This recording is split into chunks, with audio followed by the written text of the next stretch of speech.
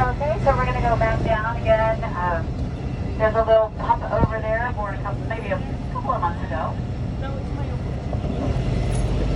When born, they weigh 10 to 15 pounds, and they do grow quickly. They are nursed by their mother for about a year. And then in the later months, they learn how to hunt and eat fish.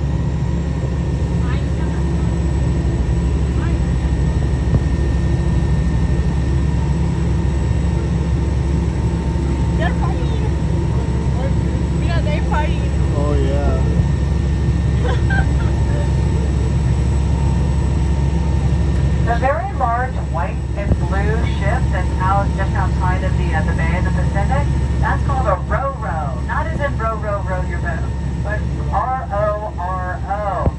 It's an abbreviation for roll on, roll off, and those are automotive carriers. Uh, they can carry thousands and thousands of cars on board, shipping them all around the world using the water.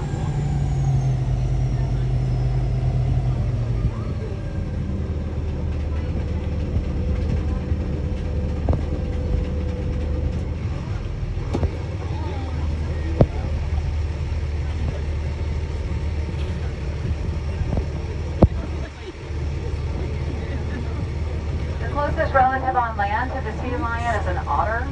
And you can definitely see a strong family resemblance in their head and body shape. These animals having those large, well-developed flippers, keeping them, making them be truly amphibious.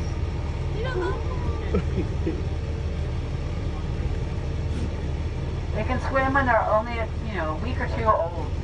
The mothers give birth along the shore for privacy, and then when their pups are a couple of weeks old, they'll swim back with them here. Uh, rejoin the family group.